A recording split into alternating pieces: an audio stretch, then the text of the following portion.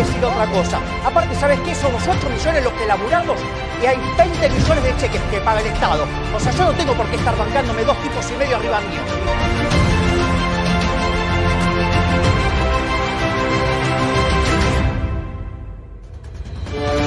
Redistribuir lo que ya originalmente el mercado distribuyó, premiando a aquellos que mejor satisfaccionan a su prójimo con un bien de mejor calidad a un mejor precio. No, no es Si cierto. no, no, que no es cierto. No, no es cierto. ¿sí? Sino No, no que es un acto violento que implica tratar desigualmente es frente a la ley y a la gente.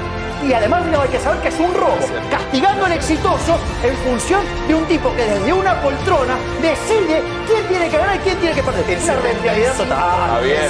Desde el año 74 para acá adelante, sí, el número de pobres se multiplicó por 6. Sí. Y el tamaño del sector público se duplicó. Es decir, el sector público es una máquina de generar pobreza. Bueno. Porque cuando vos aumentás el gasto Javi, público, sí, de alguna manera se financia.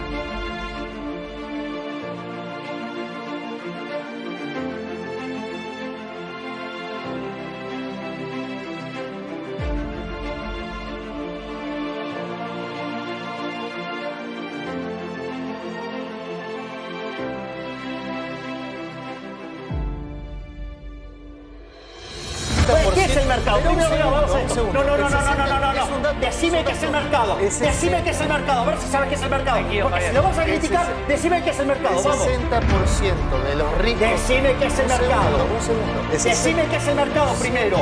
Bueno, Javier, Javier. No, bueno, pero digo, algunos. El origen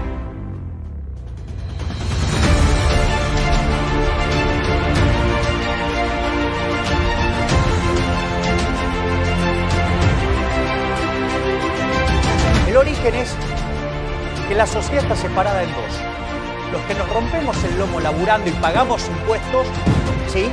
Por otro lado, los parásitos que viven de los impuestos. Primer separación.